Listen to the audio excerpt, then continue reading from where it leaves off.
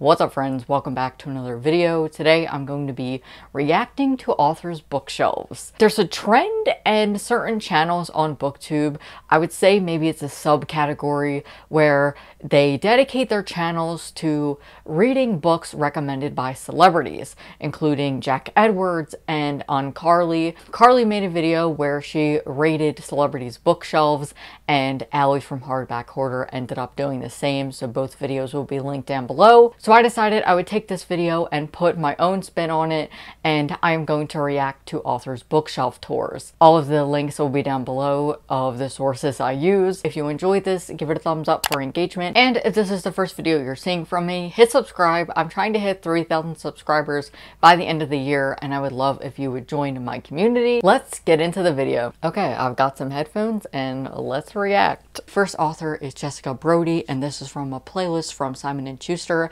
I'm going to be reacting to some YA contemporary authors that I know on this playlist. Sophie Kinsella is one of my favorite authors. I haven't read any Sophie Kinsella books, but I have heard a lot about her. Entire shelf uh, dedicated to her.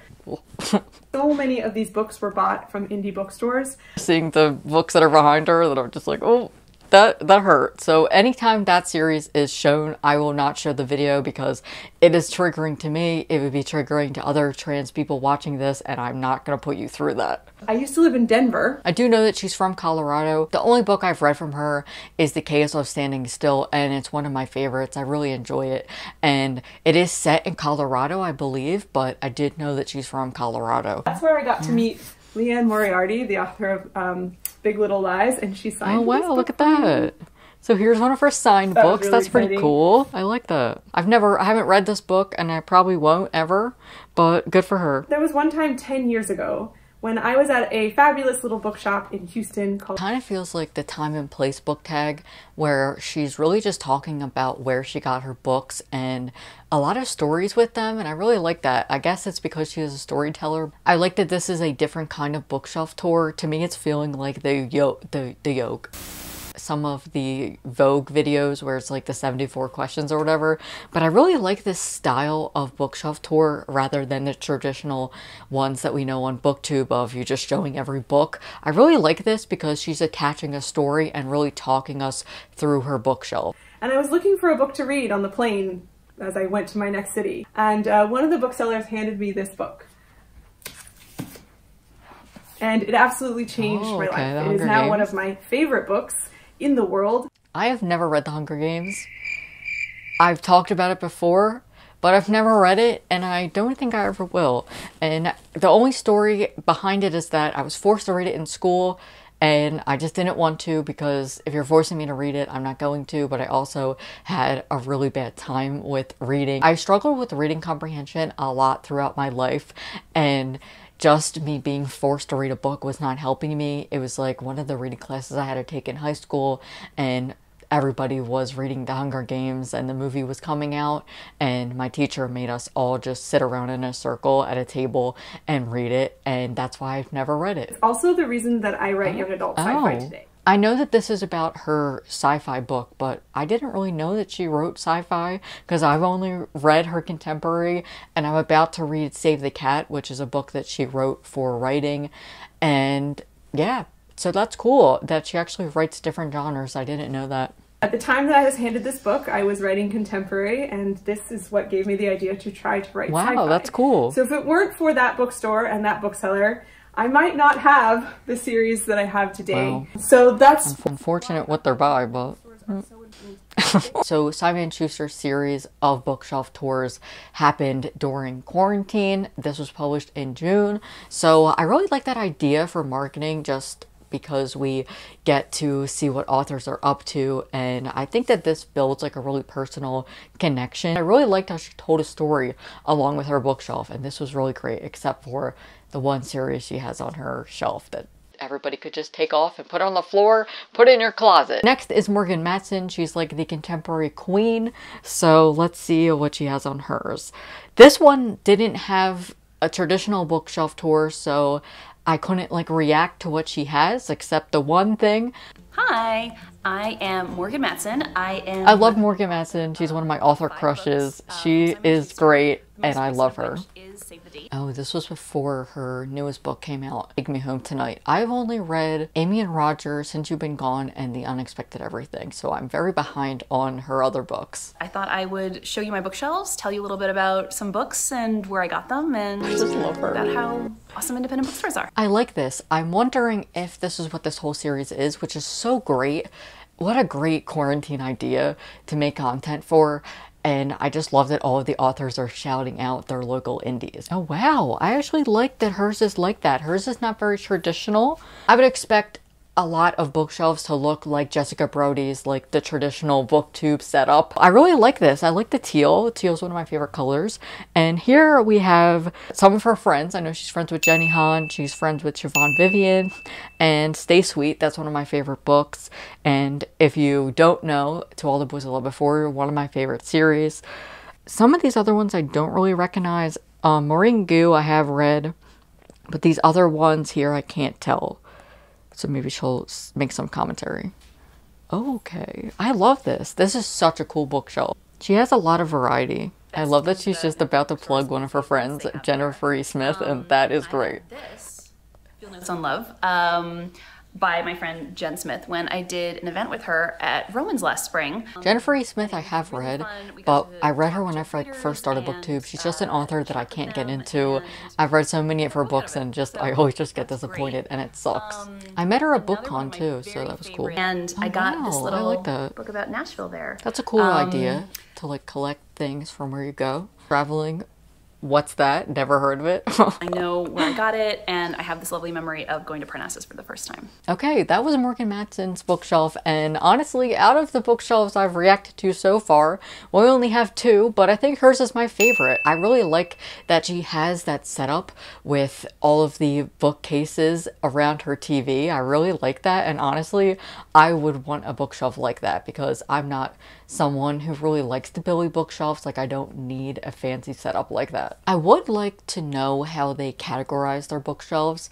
Um, from Jessica Brody, it kind of looked like it was by genre because she had like the sci-fi and fantasy on one and then the contemporary on others. So I would like to know how they all organize their bookshelves.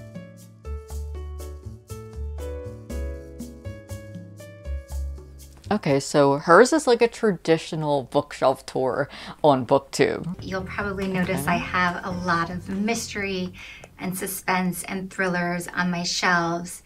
Okay, so I see The Woman in Cabin 10. I've read. I'm not a Ruth Ware fan, but it's not that I don't like her, it's just that I can't get into her books. They just aren't thrilling enough for me, and I just can't get invested into the story. And it sucks because I'm sure that her books are good and I like the ideas of her books. The problem with Ruth Ware for me is that her stories are so interesting, but when I read them, I just don't care for it. I'm not really thrilled or into the mystery. So I see Ruth Ware, I see Riley Sager. I've only read his book, the one with the purple cover. I forget what it's called. Lock Every Door, I think it is. But I have wanted to read more of him. I don't read enough thrillers. Yes, so she has a lot of Ruth Ware. Ruth Ware is a pretty popular thriller author. Anna Margaret Atwood, she's a really popular thriller author, and You by Caroline Kepnes. I have that book, but I was it was given to me as a gift. We see several Mary Kubica and Ruth Ware and Lisa Jewell, who are some of my favorite authors. And Those are some authors I do recognize, and I like that. I like hearing that authors have favorite authors. Okay, so my screen recording didn't record. It had an error, so now I will have to do more editing, so that's fun. But let's just see if the rest of Megan Miranda's will actually screen record for me. I left off on this part of the bookshelf. We see Behind the Red Door.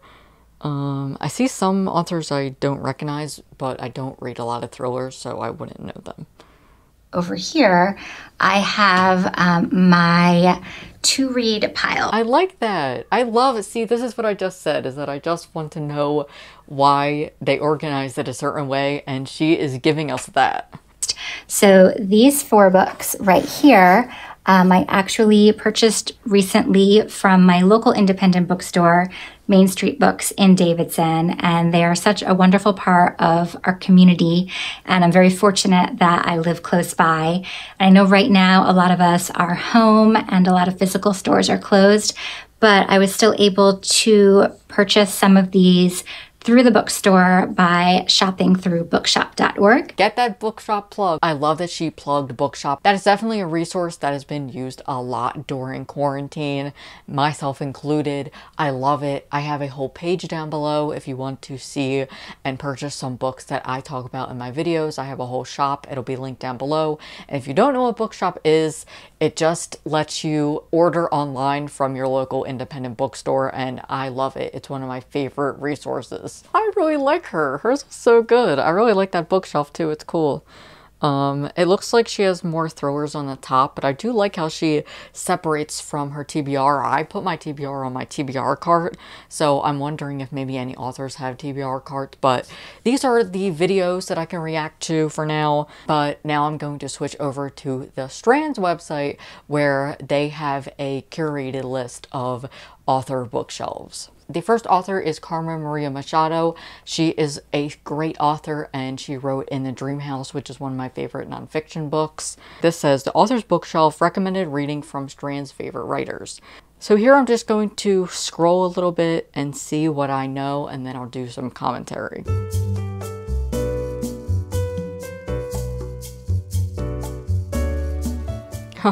Well, she has her own books on here. Great.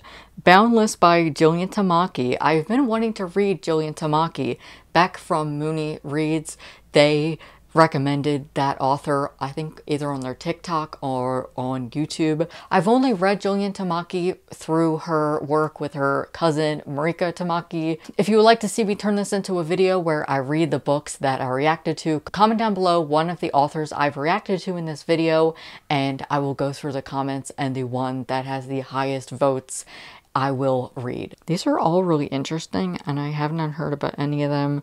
Through the Woods I have heard of, but this is pretty interesting. I have not really heard of any of these, which is cool because I like to see new books that I haven't heard of on booktube.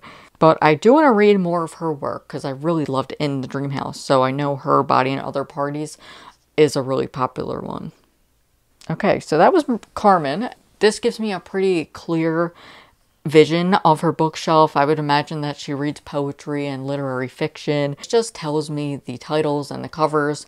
So I have not really seen a lot of these, but I imagine that they're literary fiction. Beloved by Toni Morrison I have heard of. Um, but I really like this. It shows a variety of different genres. And the last author's bookshelf I'm going to react to is Elizabeth Acevedo. One of my favorite books by her is Clap When You Land. I think it's fantastic and I can't wait to see what she has on her bookshelf. I imagine that it'll be some YA and maybe some nonfiction and all of that. When My Brother Was an Aztec by Natalie Diaz, that's one I've heard of. Black Enough I have wanted to read on the come up is fantastic. One of my favorite books of the year that I've read read so far. Dear Martin is a good one. Shout, I've been wanting to read that. The Wedding Date by Jasmine Guillory, I need to read that book. I'm gonna read all of her books because I read Party of Two for a video and I loved it so much. We have Jason Reynolds, The Boy in the Black Suit. I have not read that, but I've been wanting to because he's one of my favorites. When I was researching for this video, I was like, I would love to see his bookshelf. I'm surprised that he wasn't in any of those videos. Um, I'll see if I can find his bookshelf if I do a part two of this video. So that was me reacting to authors' bookshelves. All of the resources will be down below if you would like to see for yourself. Give this video a thumbs up for engagement if you enjoyed it and hit subscribe if you haven't.